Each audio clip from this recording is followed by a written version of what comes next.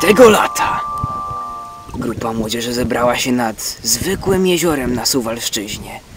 Bawią się świetnie, ale nie wiedzą, co ich czeka.